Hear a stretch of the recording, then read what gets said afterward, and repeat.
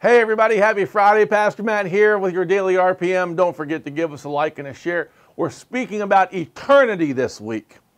And today, I want to leave you with a somber thought. We're going to stand before Jesus and give an account for our lives.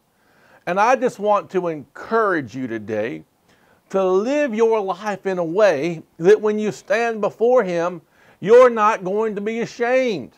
You're, go- you're not going to have wasted 50 years of your life. I want to encourage you today that we ought to be about the Father's business.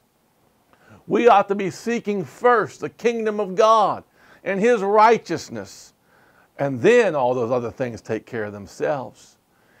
I got to tell you, as a pastor now, I've been in ministry for more than 25 years.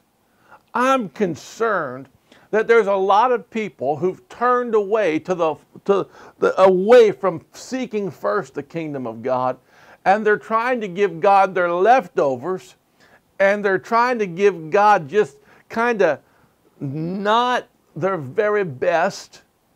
They're not discipling their children. They don't treat the things of God with holiness and reverence. And they don't understand that they're going to stand before the Lord and give an account for their lives. And I want you to know today what we do matters to God.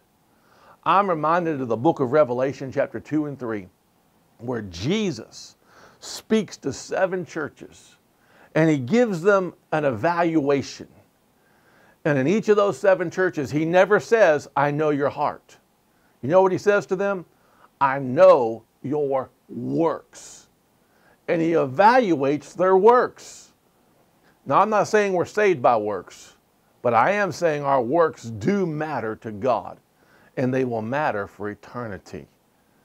I encourage you today. I love you enough to tell you and remind you we're going to stand before Him and give an account. I want to be ready. How about you? I'll see you on Monday.